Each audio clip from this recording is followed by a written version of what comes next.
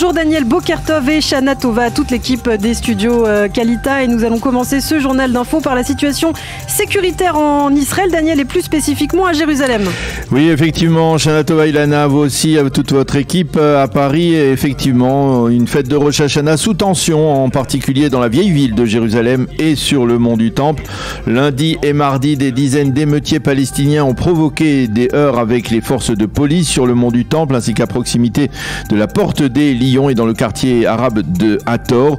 Euh, ces émeutiers ont tiré des feux d'artifice et ont lancé des pierres en direction des forces de police qui étaient déployées sur place. Une quinzaine d'entre eux ont été arrêtés. Le patron de la police, Kobi Shabtai, s'est rendu hier sur le mont du Temple pour faire le point sur ces émeutes. Durant Rosh Hashanah, il faut le souligner également, 640 fidèles juifs, soit plus que l'an dernier, ont pu se rendre euh, sur le mont du Temple. Au sein de la police, on estime que la tension actuelle devrait se poursuivre dans les prochains jours en perspective de la journée de Kippour et des fêtes de Sukkot. Le bouclage imposé sur la Judée et la Samarie durant la fête de Rosh Hashanah a été levé la nuit dernière à minuit. Et en Samarie, des terroristes ont à nouveau tiré sur un véhicule militaire israélien. Les soldats ont riposté, mais les terroristes ont réussi à prendre la fuite. Et en marge, un incident qui aurait pu être grave, un inconnu a déposé une pierre très volumineuse euh, sur la voie ferrée qui relie les villes de Carmiel et de Saint-Jean d'Acre dans le nord d'Israël. Mais en raison de la fête, les trains bien, ne circulaient pas. La police recherche l'individu. Elle a arrêté lundi un arabe israélien qui a nié être impliqué et l'a donc relâché.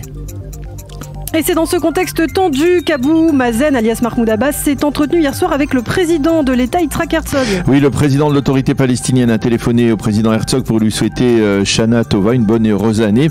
Les deux leaders ont débattu de la tension sécuritaire, des moyens de la freiner. Herzog a insisté sur la nécessité de consolider des relations de bon voisinage avec les Palestiniens. Les deux hommes ont également émis l'espoir que durant cette nouvelle année, la coopération civile et sécuritaire puisse s'intensifier afin que le calme puisse être restauré. Mais au sein du Hamas, on n'a pas particulièrement apprécié cette démarche de Mahmoud Abbas et on a accusé le euh, leader palestinien d'avoir commis un acte, je cite, méprisant pour lequel il va devoir s'excuser. Selon le Hamas, Mahmoud Abbas tente par tous les moyens de s'éloigner de la ligne nationaliste. Il faut rappeler euh, que euh, le président de l'autorité palestinienne s'est entretenu également hier avec le ministre de la Défense Benny Ce, ce dernier a demandé au leader palestinien de s'efforcer de calmer la tension sécuritaire actuelle. À noter que Mahmoud Abbas n'a pas téléphoné à Yair Lapide, et ce en dépit du discours modéré du Premier ministre la semaine dernière à la tribune des Nations Unies.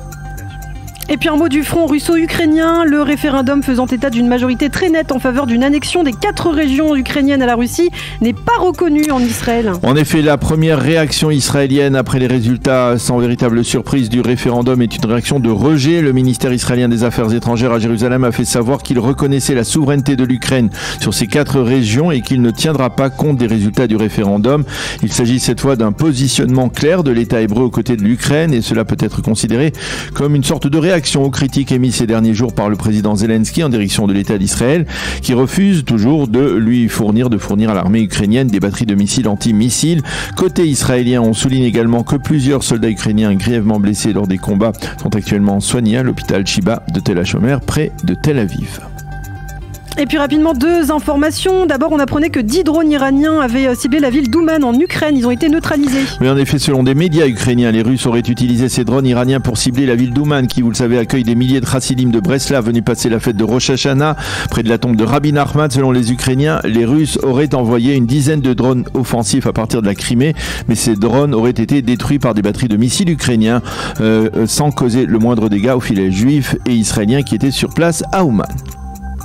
Et puis enfin un mot de politique avec quelques inquiétudes du côté de Benny Gantz. Et oui, les conseillers du ministre de la Défense, qui est tête de liste du camp de l'État, euh, sont préoccupés, par les sondages. Selon ces sondages, leur formation ne parvient pas à progresser en dépit des alliances réalisées avec Guidon Sarr et Gadi Eisenkot. Ce parti ne dépasse pas, ne dépasse pas pardon, les 12 ou 13 mandats au mieux et ce n'est pas assez pour espérer briguer le poste de Premier ministre pour Benny Gantz. De plus, les conseillers constatent que le public est bien plus démobilisé que par le passé.